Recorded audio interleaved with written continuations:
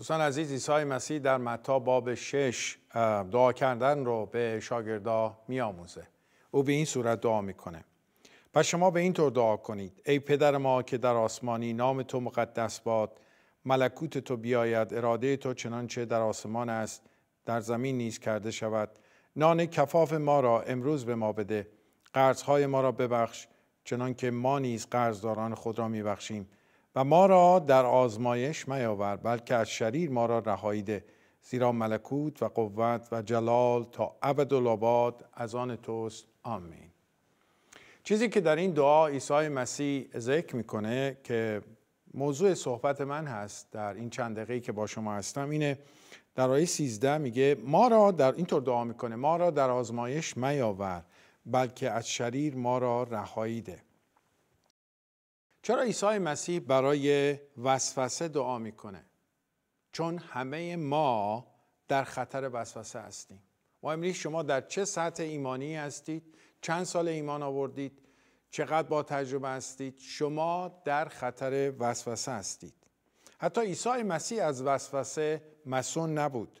وسوسه یعنی تحریک شدن به کاری. وسوسه یعنی اشتیاق برای انجام کاری.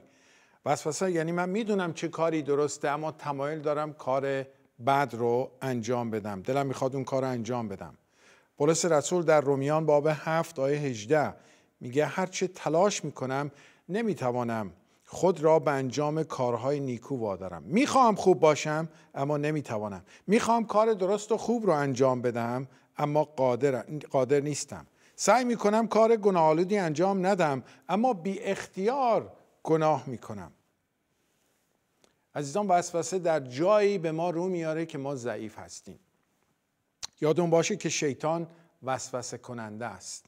در متا باب 4 آیه 3 او حتی مسیح رو عیسی مسیح رو وسوسه کرد. وسوسه می‌تونه باعث تقویت ایمان ما بشه یا برعکس باعث لغزش و افتادن ما بشه. می‌تونه به ما کمک بکنه که خودداری رو یاد بگیریم یا می‌تونه به ما ما رو در گناه بندازه. پس باید بدونیم که دو حالت داره. وسوسه نقشه خدا رو در زندگی ما همیشه خراب می‌کنه. چون می‌تونه این کار رو انجام بده همونطور که در زندگی آدم و حوا انجام داد که ما در پیدایش می‌خونیم. خدا انسان را آفرید برای یک نقشه عالی ولی به خاطر وسوسه و به خاطر تصمیمی که آدم و حوا در وسوسه گرفتن اونها نقشه خدا در زندگی اونها خراب شد. وسوسه کارش نابودی ماست عزیزان. در یوحنا باب ده آیه ده اینطور میگه کار دزد این است که بدزدد و نابود کند. اول باید بدونیم که وسوسه مثل این میمونه هرگز مثل تومه هستش وسوسه مثل تومه است. وقتی که تومه هیچ وقت دنبال شکار نمیره شکار دنبال تومه میره. شما وقتی یه ماهیگیری رو می‌بینید که قلابش رو در تومه رو گذاشته نوک قلابش و اون رو در آب میندازه اون تومه دنبال ماهی نمیره. ماهی دنبال تومه میاد. پس باید بدونیم که ماییم که در وسوسه خودمون رو قرار میدیم با بیحکمتی و یا چیزهای دیگه که حالا صحبت می‌کنیم. وسوسه اول با قلب و فکر ما شروع میشه. در فکر ما پرورش پیدا می‌کنه. یعقوب باب یک آیه 14 و 15 اینطور میگه. وسوسه یعنی اینکه انسان فریفته و مجذوب افکار و امیال ناپاک خود شود. این افکار ناپاک او را به انجام کارهای گناهالود میکشاند. در اول یوحنا باب دو آیه 16 از سه چیز اساسی در وسوسه صحبت می‌کنه. یک میگه خواهش جسم خواهش چشم و غرور زندگانی. همیشه این سه چیز عامل تمام وسوسه ها هستند. شیطان از همین روش استفاده کرد برای سقوط آدم و حوا. به طور مثال گفتم همونطور که عرض کردم خواهش چشم. وقتی که هوا میوه درخت رو دید دید چقدر دلپسنده. خواهش جسم وقتی که میوه برای بدن گفت چقدر خوبه. غرور زندگانی وقتی که خواست جای خدا رو بگیره خصوصیات خدا رو داشته باشه. پس ببینید هر سه مرحله امروز هم در زندگی ما همین هسته شیطان دقیقا به همون صورت عیسی مسیح رو وسوسه کرد. یعنی خواهش جسم گفت اگر تو پسر خدا هستی به این سنگ ها بگو تا نان شود. خواهش چشم به تمام دنیا رو عظمت دنیا رو به اون نشان داد. غرور زندگانی گفت اگر همه اونها رو به تو میدم اگر منو سجده بکنی منو پرستش بکنی. باید بدونیم وسوسه گناه نیست. تصمیمی که در مقابل وسوسه می‌گیریم ما رو به گناه میکشونه. عیسی مسیح هم وسوسه شد. باید مطمئن باشیم که همه ما وسوسه خواهیم شد. اینو اطمینان داشته باشید. چرا وسوسه شدن اینقدر آسونه؟ به خاطر ذات ما به خاطر اینکه ما تمایل به گناه داریم. در اون لذت هست در اون تفریح هست. دوم اینکه به خاطر ذات ماست گفتیم که ما آماده هستیم مشتاق گناه هستیم که گناه بکنیم. وسوسه چطور انجام میشه؟ با نما ممکنه با دیدن یک فیلم در محیطی باشیم که نباید باشیم با کسایی معاشرت بکنیم که نباید بکنیم و غیره. حالا سوال اینجاست که چطور بر وسوسه غلبه پیدا کنیم؟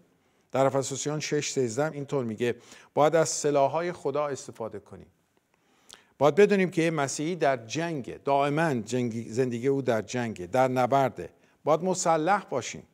اولین سلاح ما دعا هست. در متا باب 26 آیه 41 عیسی مسیح به شاگردانش اینطور میگه بیدار باشید و دعا کنید تا در وسوسه بر شما غلبه پیدا نکند.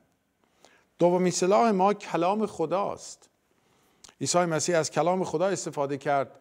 تا بر وسوسه هایی که شیطان اون رو در اون قرار داده بود غلبه پیدا بکنه و پیروز بشه.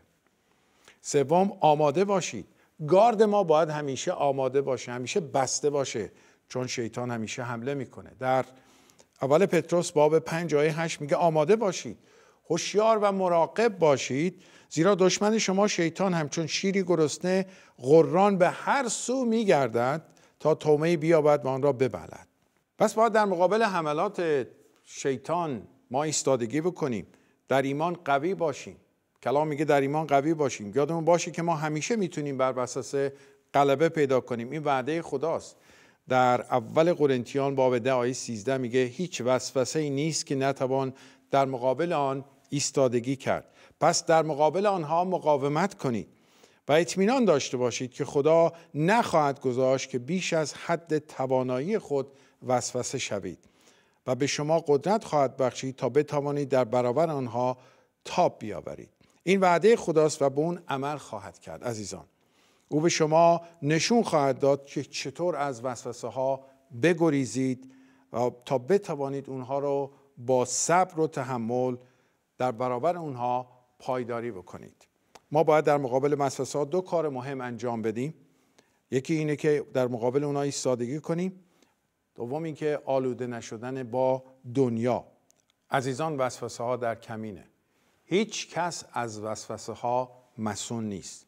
ما باید با هوشیاری تمام در دعا مراقب باشیم تا بتونیم از وسوسه ها به کمک خداوند پیروز و سرفراز بیرون بیایم آمین.